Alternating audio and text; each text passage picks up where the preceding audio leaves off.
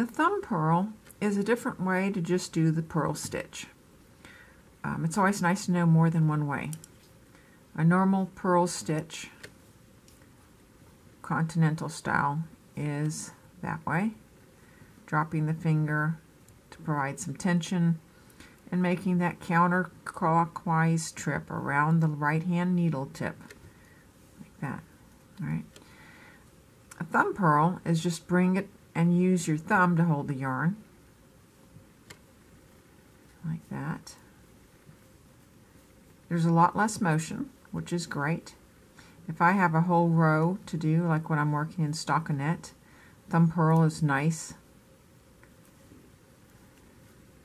See, there's a lot less movement.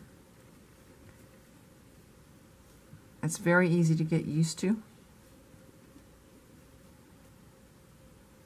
And it can be fast.